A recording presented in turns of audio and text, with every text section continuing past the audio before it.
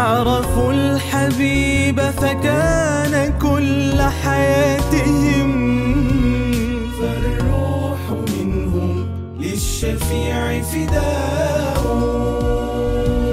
يا خير من نظر الحبيب لوجههم منه ارتووا فالحب فيه شفاء.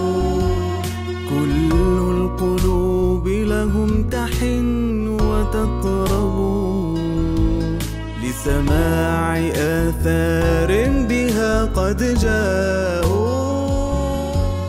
من مثلهم صان العهود وأجزلا في ذكرهم تتعطر الأرجاء.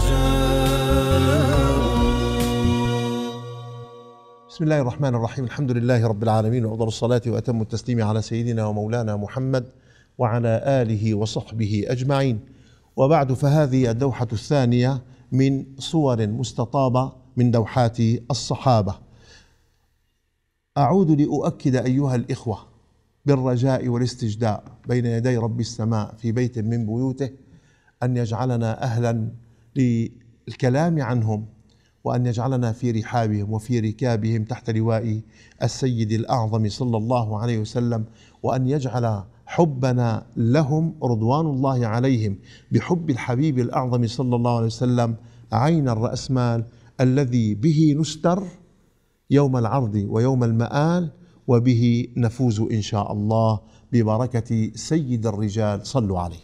صلى الله عليه وسلم. دوحتنا اليوم تبدأ بصحابي جليل له أثر كبير في مد الفتح إضافة إلى عمق الفهم لجزئيات دقيقة في حياته رضي الله تعالى عنه رغم أنه أسلم قبيل فتح مكة لكنه قدم للأمة من عطاءات وفتوحات وثوابت ما يشير إلى أنه لكأنه أسلم من بداية البعثة. رضوان الله عليه. أذكر أيها الإخوة بأنني سوف لن أقف عند الصورة على الحد المعهود بمدة الحلقة. فقد لا يكفي هذه الدوحة هذا العد من الوقت. فأنا سأسترسل المسألة كما تعودنا وهذا شيء عودنا إياه ربنا سبحانه وتعالى. مسألة فتح. ونحن ننهل من معين هؤلاء الكرام. نقف عند مواقفهم. نستقرئ. وقلت لكم لم أعتمد على ذاكرتي. لاعتبارات كثيرة. من من من أهمها التوثيق التاريخي. لأنني أتيت على الشواهد من الأمهات. لم أعتمد على كتب حديثة بل الأمهات. الأمر الثاني السياق الأدبي اللغوي. الرصين الذي يفيدنا ويريح مسامعنا.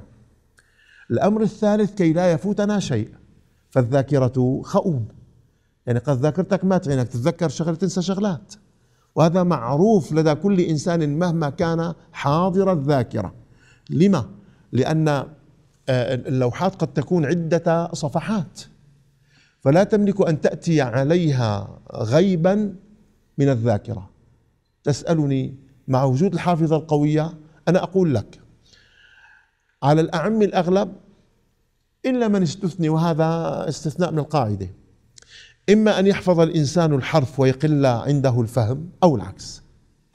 فإذا جمع من هذا شيء ومن هذا شيء فخلط الحق عز وجل أو مزج بينهما وجعل الوعاء توفيقه كان هذا أجمل وأمكن وأدعى للافتقار بين يدي المعطي وهذا ما أخاطب به كل مدرس وكل خطيب أن لا يعتمد على ذاكرته حتى ولو أراد أن يقرأ الفاتحة. معلش راجعة كي لا تتكئ على همتك وما عندك فقد ينسيك الحق عز وجل ما عندك من حرف العلم.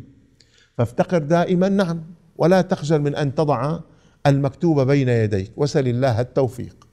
فكم من إنسان يقرأ عبارة ويشرح على هذه العبارة عد عدة صفحات مما أمامه ببركة المقروء والافتقار.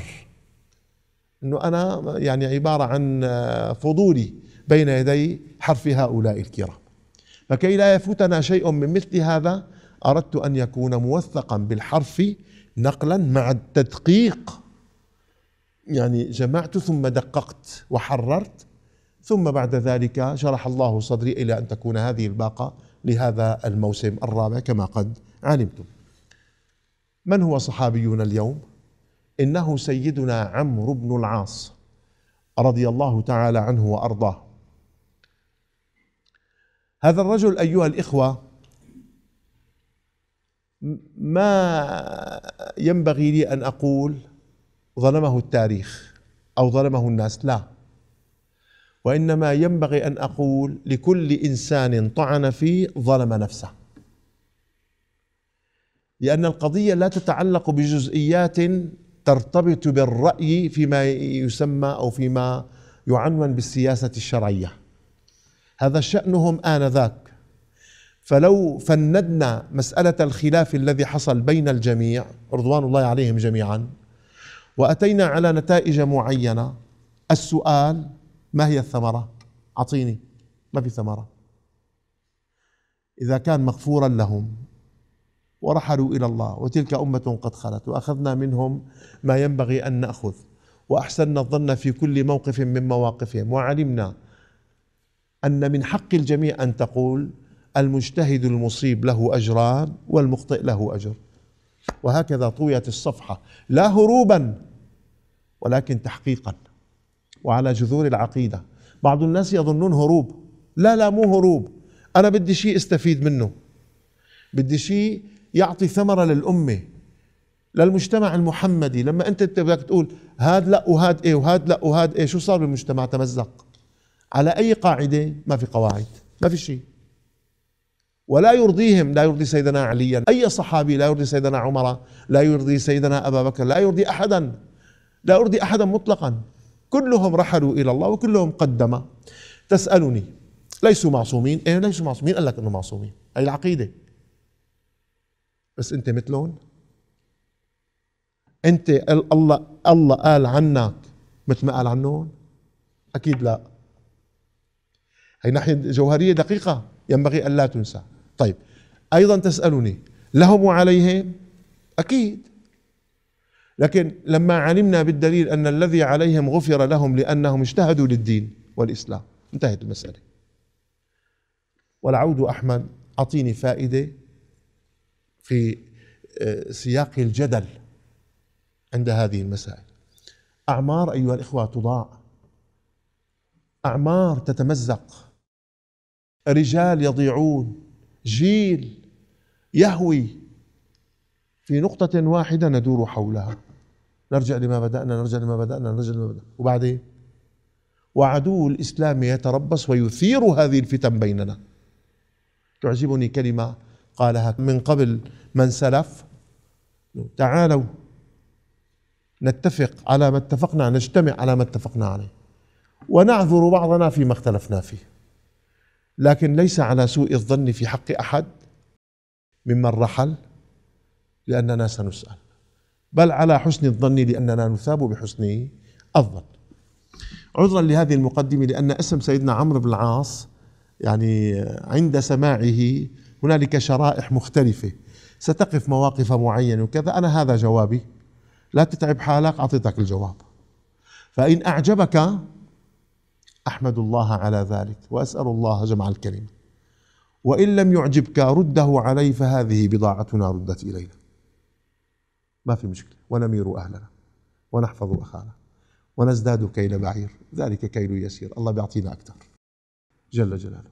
والله والله لأن ألقى الله على حب الجميع غير متعصب لأحد. خير من أن ألقى الله متعصبا آه، لأحد دون أحد. وقد سئلت السؤال الخطير. ووقف هؤلاء الكرام. يا رب قال في حق كذا. يا رب قال في حق كذا. وأنا دونهم قزم بين يدي من شهد الحق عز وجل لهم بما شهد. كنتم خير أمة خير أمة. فكن معهم ليقال لك أنت. كنتم خير أمة. أي نعم. نقف عند ترجمته وهذا من حقه علينا. هو عمرو بن العاص ابن وائل السهمي القرشي. أبو عبد الله فاتح مصر. طبعا شهر بها بشكل سبحان الله. فاتح مصر رضي الله تعالى عنه. وأحد عظماء العرب ودهاتهم وأولي الرأي والمكيدة فيهم. يعني ما عرف داهية داهية بمعنى قوة النظر والفكر والفهم وبعد النظر. وفهم ما تحت ما تحت المقدور خليني أقول مو بس ما تحت الحرف. سيأتي معنا شاهد على هذا مدهش رضوان الله عن سيدنا عمرو نعم. معروف أحد الدهاة الأربعة رضوان الله عليه. نعم.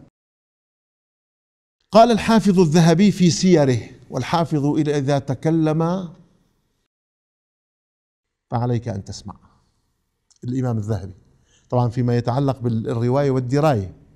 أما في رأيه الخاص في بعض الشؤون هذا بنحط على الميزان. مو الرجل بنحط على الميزان لا الرأي.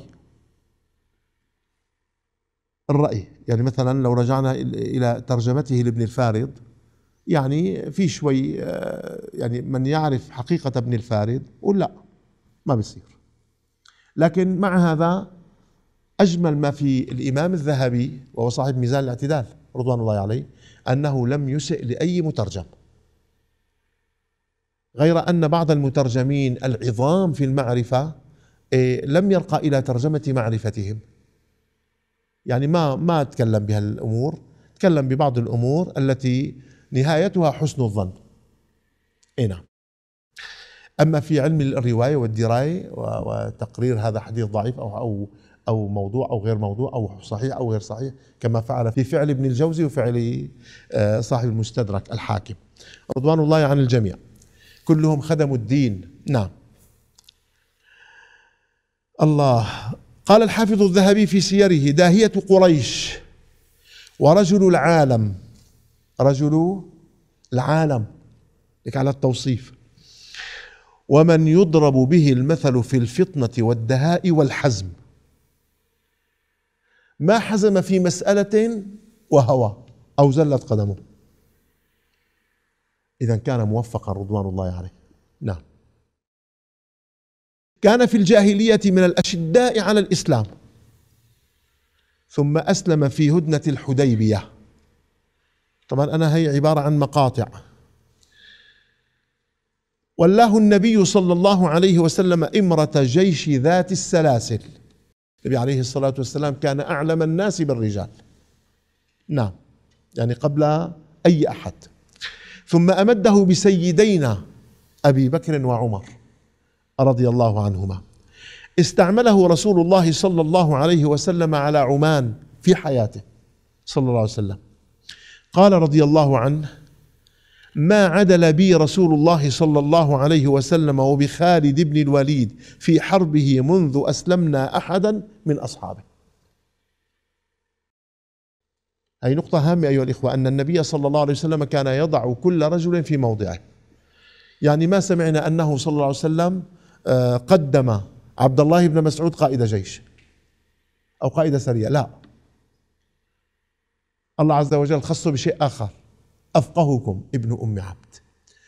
فيوم تقتدي الأمة برسول الله في قضية الائتساء على الجوهر والمظهر وتضع كل شيء في موضعه وما يناسبه والله تبنى بناء يحسدها عليها الدول الكبرى وتتقزم أمامها حينئذ. اللهم ردنا ردا جميلا يا رب العالمين. لعل الوقت قد أدركنا نتابع ترجمته وبعد ذلك إن شاء الله في حلقتنا القادمة ودوحتنا القادمة. والحمد لله رب العالمين على نية القبول واستعطاف قلب سيدنا الرسول صلى الله عليه وسلم. الفاتحة.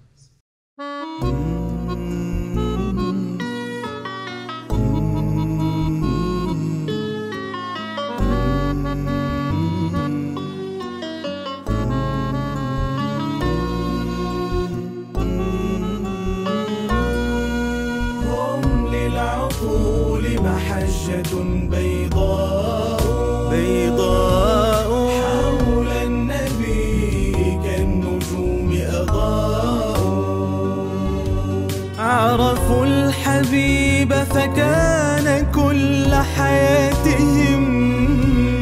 فالروح منهم للشفيع فداء. يا خير من نظر الحبيب لوجههم. منه ارتووا فالحب فيه شفاء.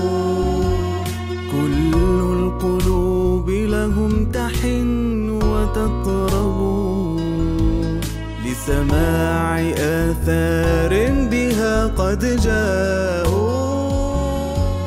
من مثلهم صان العهود في ذكرهم تتعطر الأرجاء